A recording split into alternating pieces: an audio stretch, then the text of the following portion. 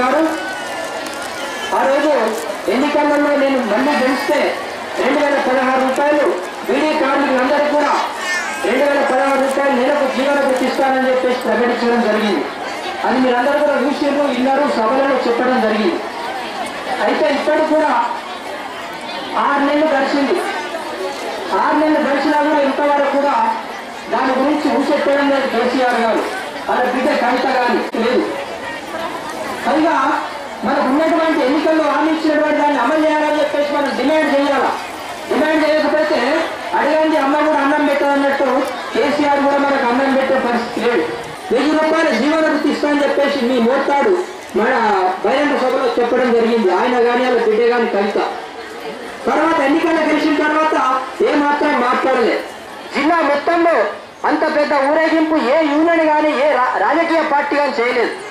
శివాజీ నగర్కి వెళ్ళి collector office దాకా తీసుకొచ్చి ఊరేగింపుని డెబ్బై వేల మందితో బహిరంగ సభ జరిస్తే ఆ బహిరంగ సభను చూసినటువంటి కేసీఆర్ వాళ్ళ బిడ్డ కవిత కవిత భయపడిపోయింది ఎప్పుడు అదే రోజులు అయి ఉన్నారో మన సభ అయిపోగానే తీవ్రమైన ప్రకటన చేసి. అంటే మనం అంత పెద్ద పోరాటం చేస్తాం కాబట్టి మండల స్థాయి నుంచి జిల్లా స్థాయి వరకు వేలాది మందితో. అయినప్పటికీ ఇంతవరకు దాన్ని పట్టించుకోలేదు. కొంతమంది మాత్రమే ఇస్తున్నారు కాబట్టి ఇది చాలా అన్యాయమే. నిజామాబాద్ గారు మొత్తం అన్ని జిల్లాల్లో మన యూనిటే ఉంది. ఐఎఫ్టీఏ ఉంది. తెలంగాణ ప్రగతిశీల బీడీ వర్కర్స్ తరఫున మనం కొట్టాల్సి వేరే యూనియన్లు కాదమ్మా. అందుకోసం ఇంత పెద్ద ఎత్తున బలం ఉన్నటువంటి ఊటి ఉన్నటువంటి యూనియన్ మనది. మనం ఇంత కొట్లాడుతున్నాం. కాబట్టి ఇప్పుడు మాత్రం ఖచ్చితంగా ఎలాంటి ఆంక్షలు లేకుండా ఆ రోజు జీవన తీసినటువంటి ఆంక్షలు రెండు వేల పద్నాలుగు ఫిబ్రవరి ఇరవై ఎనిమిది కంటే ముందే ఉన్నది పిఎం నగరంలోకి ఇస్తున్నటువంటి ఆ జీవోని తీసిపడేసి కాబట్టి ఇప్పటికైనా కేసీఆర్ గారు ఖచ్చితంగా మనకు ఈ ఇచ్చే ఎన్నికల్లో ఇచ్చినటువంటి హామీ రెండు వేల పదహారు రూపాయల్ని వెంటనే అందరికీ ఇవ్వాలా అమలు చేయాలా? ఈ జూలై నెల నుంచి అమలు చేయాలని చెప్పేసి మనం కొట్లాడుతున్నాం. అదేవిధంగా ఈ బిడి కార్మికుల యొక్క ఓట్లు మాత్రం ఎన్నికలప్పుడు అనేక మాటలు చెప్పి వచ్చినటువంటి కేసీఆర్ గారు ఈరోజు ఆరు నెలలు గడిచినా కూడా ఈ రెండు వేల పదహారు రూపాయల హామీని అమలు చేయకుండా నిమ్మకు నీరెత్తినట్టుగా వ్యవహరిస్తున్నాడు. మరో పక్కన కార్మికుల యొక్క ఓట్లతోని గద్దెనెక్కినటువంటి కేసీఆర్ ఈరోజు బీడీ కార్మికులను మర్చిపోయినటువంటి పరిస్థితి ఏర్పడుతుంది. కాబట్టి కార్మికులందరూ కూడా గతంలో తీసినటువంటి జీవో రెండు వేల పద్నాలుగు ఫిబ్రవరి ఇరవై ఎనిమిది తారీఖు కంటే ముందు పిఎఫ్ నెంబర్ ఉన్నటువంటి వాళ్ళకే జీవన వృత్తి వెయ్యి రూపాయలు అని చెప్పి జీవో తీయడం జరిగింది. ఆ జీవో వల్ల వేలాది మంది కార్మికులకు తీవ్రమైన అన్యాయం జరిగింది. ఇది చాలా నష్టమైనటువంటిది. అట్లాగే బీడీ పరిశ్రమలో పనిచేస్తున్నటువంటి బీడీ కార్మికులతో పాటు బీడీ ప్యాకర్లు నెలసరి ఉద్యోగులు అట్లాగే తరఫున రాష్ట్ర కమిటీ తరఫున డిమాండ్ చేస్తున్నాం. ఒకవేళ ఈ అమలుని అమలు చేయకపోతే జూలై నెల నుంచి అమలు చేయకపోతే మా యొక్క పోరాటాన్ని మరింత ఉధృతం చేసి జిల్లా లెవెల్లో కానీ మండల స్థాయి నుంచి జిల్లా వరకు జిల్లా నుంచి రాష్ట్ర స్థాయి వరకు కూడా ఈ ఉద్యమాన్ని తీసుకుపోయి ప్రభు ప్రభుత్వం మీద తీవ్రమైనటువంటి ఒత్తిడి చేసి ఖచ్చితంగా ఈ రెండు వేల పదహారు రూపాయల జీవన వృత్తిని సాధిస్తామని చెప్పేసి ఈ సందర్భంగా మేము రాష్ట్ర ప్రభుత్వాన్ని హెచ్చరిస్తున్నాం. అదేవిధంగా ఈ కార్మికులకు ఉన్నటువంటి ఇతర సమస్యలు చాలా తీవ్రంగా ఉన్నాయి. వాటిని కూడా వెంటనే పరిష్కారానికి సరైనటువంటి వేతనాలు లేక జీవోలు లేక రాష్ట్ర ప్రభుత్వం కార్మిక శాఖ దగ్గర పెండింగ్లో ఉంది.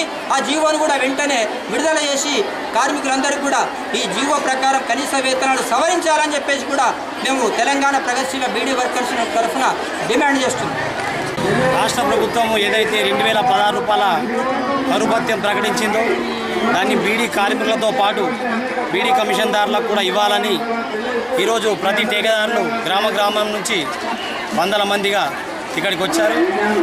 ఇక్కడ నుంచి ర్యాలీగా వెళ్ళి ఎండి ఆఫీసులో నోటీసులు ఇవ్వడం జరుగుతుంది అప్లికేషన్లు. అయితే బీడీ కార్మికులు ఎంత కష్టపడైతే తమ్మాకుతోని ఆకుతోని కష్టపడి పనిచేస్తున్నారు రాత్రింబాలు వాళ్ళతో పాటు సరిసమానంగా టేకేదార్ అంటే బీడీ కమిషనర్ కూడా కష్టపడి పనిచేస్తున్నాడు.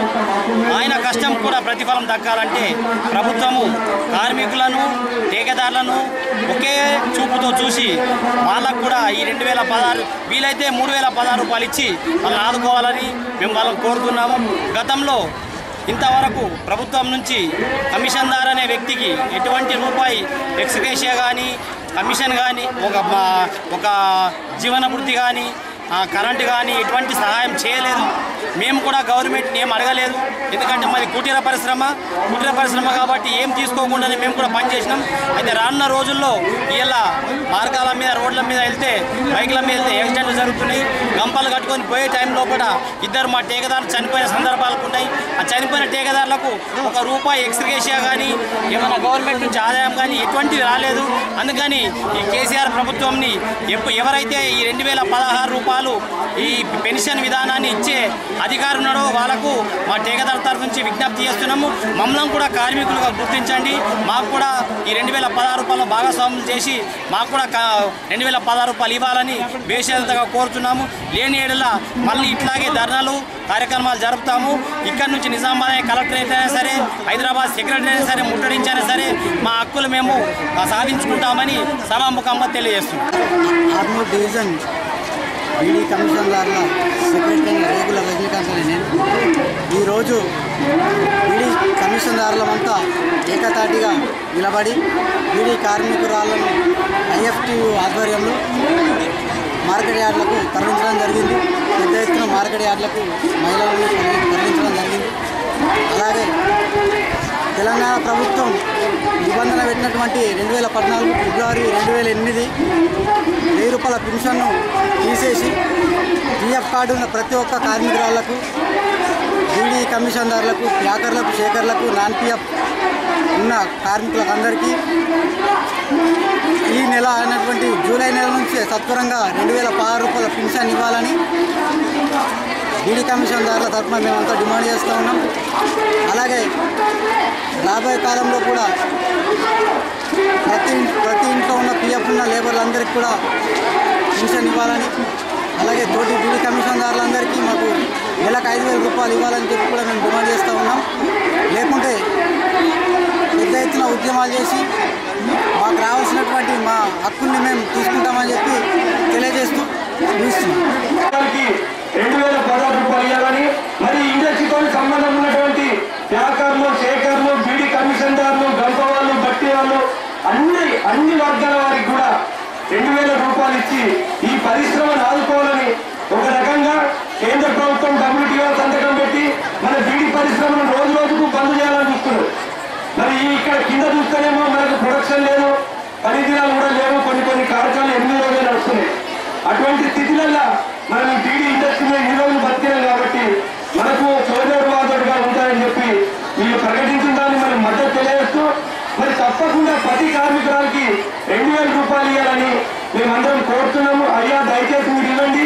ఒకవేళ ఇవ్వని పక్షంలో ఇచ్చేంత వరకు మేమందరం కలిసి పోరాడతామని మీ కార్మికుల వెనుక మీ పోరాటానికి మా ఆరుమూరు టేకదారి వేళ సంపూర్ణమైన మద్దతు మీకు ఉంటుందని చెప్పి తెలియజేస్తూ ముగిస్తూ వీడి కార్మికులతో పాటు మేము కూడా పోరాటంలో ఉంటాం మొదలుగా ఉంటాం మేము కూడా భుజం భుజం కట్టి మొత్తం కార్మికులంతా మా కాకంలోనే మా కారగిలే లాభాలని ఆకాంక్షలు వ్యక్తం చేస్తూ ముందు బాగానే ఉంటామని చెప్పేసి యూనియన్ తరఫున ప్రత్యేక అభినందన తెలియజేస్తూ చివరికి ఒకే ఒక్క అన్న ఉన్నాడు మాట్లాడంగానే మనం ఊరేగింపుగా పోదాం ఐఎఫ్టీయు జిల్లా ప్రధాన కార్యదర్శి దాసాలను మాట్లాడాల్సిందిగా కోరుతున్నాం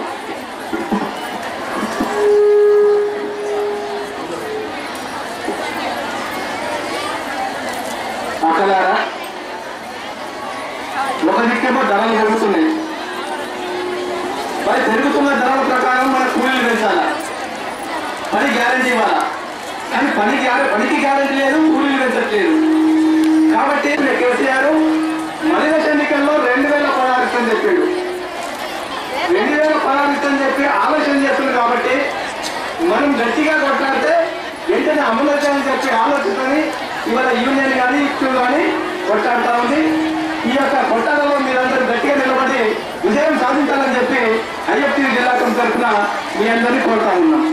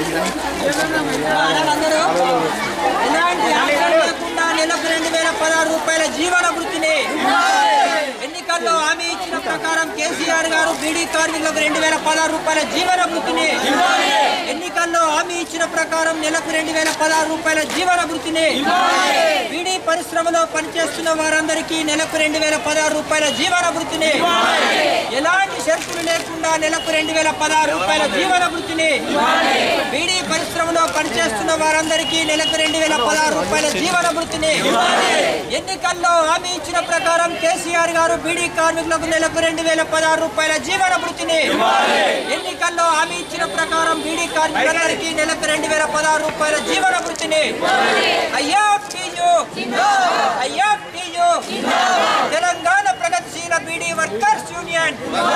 తెలంగాణ ప్రగతిశీల బీడీ వర్కర్స్ యూనియన్.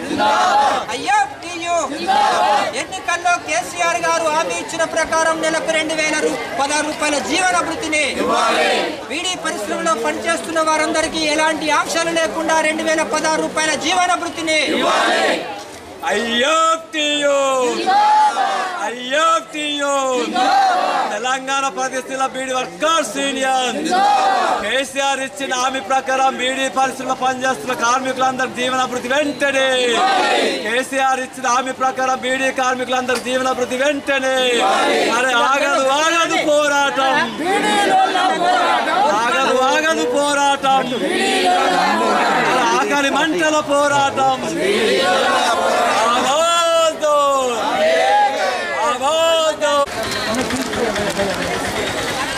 బీడీ కార్మికుల ఐక్యత. మనకు తెలియదు ఇంకో సత్యాన ఫోన్ చేసి. అదే మీరు మీటింగ్ ఉంటారని నాకు చెప్తే నేను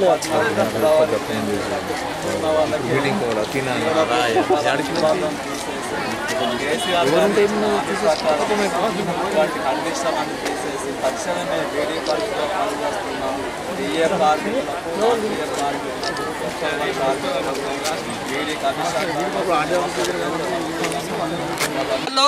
రాష్ట్ర ఆపద్ధర్మ ముఖ్యమంత్రిగా ఉన్నటువంటి కేసీఆర్ గారు బీడీ కార్మికులకు అప్పటి వరకు ఇస్తున్నటువంటి వెయ్యి రూపాయల జీవన వృత్తిని మళ్ళీ రెండు వేల పంతొమ్మిదిలో కార్మికులందరికీ పిఎఫ్ నంబర్ ఉన్నా లేకున్నా దాంతో సంబంధం లేకుండా నెలకు రెండు వేల పదహారు రూపాయల జీవన వృత్తిని ఇస్తానని చెప్పేసి ఎన్నికల్లో హామీ ఇవ్వడం జరిగింది. అధికారంలోకి వచ్చినటువంటి కేసీఆర్ గారు ఈరోజు ఆరు నెలలు గడిచినా కూడా అధికారం చేపట్టి ఇంతవరకు ఏమాత్రం ప్రకటించకుండా రెండు వేల పదహారు రూపాయల జీవన భృతిని ప్రకటించకుండా చాలా ఆలస్యం చేస్తున్నాడు. ఇది చాలా అన్యాయమైనటువంటిది. కార్మికులందరూ కూడా ఆశతో ఎదురు చూస్తున్నారు. ఖచ్చితంగా ఎన్నికల్లో ఇచ్చినటువంటి హామీ ప్రకారం బీడీ పరిశ్రమలో రాష్ట్ర వ్యాప్తంగా ఉన్నటువంటి బీడీ కార్మికులందరికీ అట్లాగే నెలసరి ఉద్యోగులకు బీడీ ప్యాకర్లకు అదేవిధంగా బీడీ కమిషన్దారులకు అందరికీ కూడా ఎలాంటి ఆంక్షలు లేకుండా ఎలాంటి షరతులు లేకుండా రెండు వేల పద్నాలుగు ఫిబ్రవరి ఇరవై ఎనిమిది తారీఖు కట్ ఆఫ్ డేట్ అనే దాన్ని కూడా తొలగించేసేసి రెండు వేల పంతొమ్మిది వరకు ఈ పిఎఫ్ నంబర్ ఉన్నా లేకున్నా బీడీ కార్మికులు ఉన్నటువంటి వాళ్ళందరికీ కూడా ఎన్నికల్లో ఇచ్చినటువంటి హామీ ప్రకారం కేసీఆర్ గారు నెలకు రెండు వేల పదహారు రూపాయల జీవన వృత్తిని వెంటనే అమలు చేయాలని చెప్పేసి ఈ సందర్భంగా తెలంగాణ ప్రగతిశీల బీడీ వర్కర్స్ ఐఎఫ్టీయు రాష్ట్ర కమిటీ తరఫున డిమాండ్ చేస్తూ ఈరోజు రాష్ట్ర వ్యాప్తంగా కూడా అన్ని మండల కేంద్రాల్లో అదేవిధంగా జూలై పదవ తారీఖు నాడు జిల్లా కేంద్రాల్లో కలెక్టర్ కార్యాలయాల ముందు ధర్నాలు చేస్తున్నాం మెమోరాండమ్స్ ఇస్తున్నాం.